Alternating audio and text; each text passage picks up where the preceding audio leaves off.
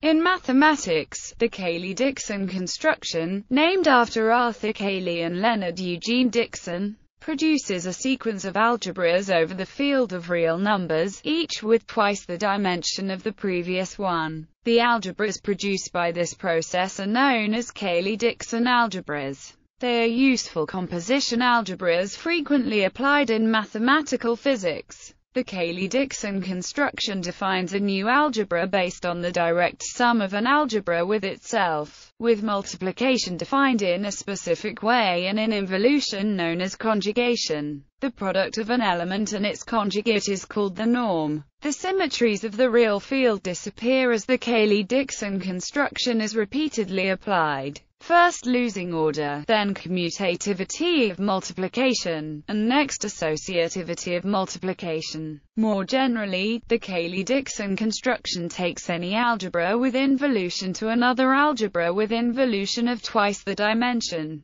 Complex numbers as ordered pairs. The complex numbers can be written as ordered pairs of real numbers A and B, with the addition operator being component by component and with multiplication defined by a complex number whose second component is zero is associated with a real number. The complex number is the real number A. Another important operation on complex numbers is conjugation. The conjugate asterisk of is given by the conjugate has the property that which is a non-negative real number. In this way, conjugation defines a norm, making the complex numbers a normed vector space over the real numbers. The norm of a complex number z is furthermore, for any non-zero complex number z, conjugation gives a multiplicative inverse. Inasmuch as complex numbers consist of two independent real numbers, they form a two-dimensional vector space over the real numbers. Besides being of higher dimension, the complex numbers can be said to lack one algebraic property of the real numbers.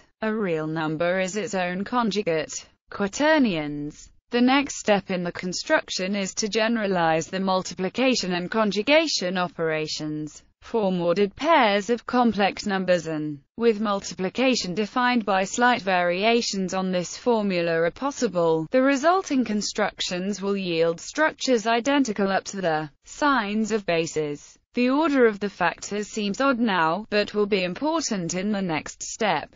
Define the conjugative by these operators are direct extensions of their complex analogues. If n are taken from the real subset of complex numbers, the appearance of the conjugate in the formulas has no effect. So the operators are the same as those for the complex numbers. The product of an element with its conjugate is a non-negative real number. As before, the conjugate thus yields a norm and an inverse for any such ordered pair. So in the sense we explained above, these pairs constitute an algebra something like the real numbers. They are the quaternions, named by Hamilton in 1843. Inasmuch as quaternions consist of two independent complex numbers, they form a four-dimensional vector space over the real numbers. The multiplication of quaternions is not quite like the multiplication of real numbers, though. It is not commutative, that is, if and quaternions, it is not generally true that, but it is true that, where, octonions.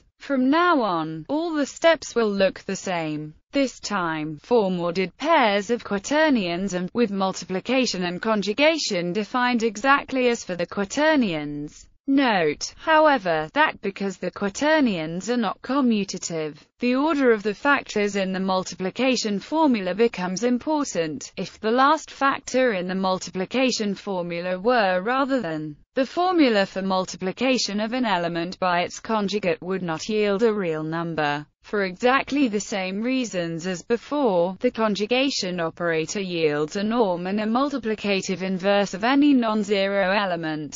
This algebra was discovered by John T. Graves in 1843, and is called the octonions or the Cayley numbers. Inasmuch as octonions consist of two quaternions, the octonions form an eight-dimensional vector space over the real numbers. The multiplication of octonions is even stranger than that of quaternions. Besides being non-commutative, it is not associative. That is, if and are octonions. It is generally not true that for the reason of this non-associativity, octonions have no matrix representation. Further algebras the algebra immediately following the octonions is called the sedenions. It retains an algebraic property called power associativity, meaning that if is a sedenion, but loses the property of being an alternative algebra and hence cannot be a composition algebra. The Cayley-Dickson construction can be carried on ad infinitum, at each step producing a power associative algebra whose dimension is double that of the algebra of the preceding step.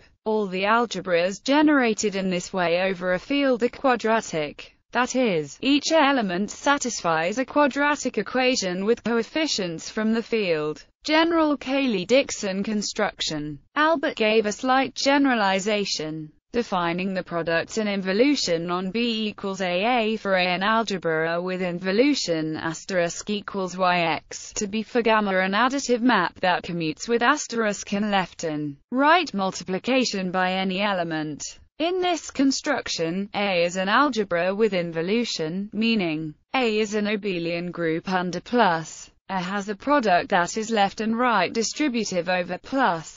A has an involution asterisk, with x asterisk asterisk equals x, asterisk equals x asterisk plus y asterisk, asterisk equals yx. The algebra BE equals AA produced by the Cayley-Dickson construction is also an algebra with involution. B inherits properties from A unchanged as follows. If A has an identity 1A, then B has an identity. If A has the property that x plus x asterisk, xx asterisk associate and commute with all elements, then so does B. This property implies that any element generates a commutative associative asterisk algebra, so in particular the algebra is power associative. Other properties of A only induce weaker properties of B. If A is commutative and has trivial involution, then B is commutative. If A is commutative and associative then B is associative. If A is associative and x plus x asterisk, xx asterisk associate and commute with everything, then B is an alternative algebra.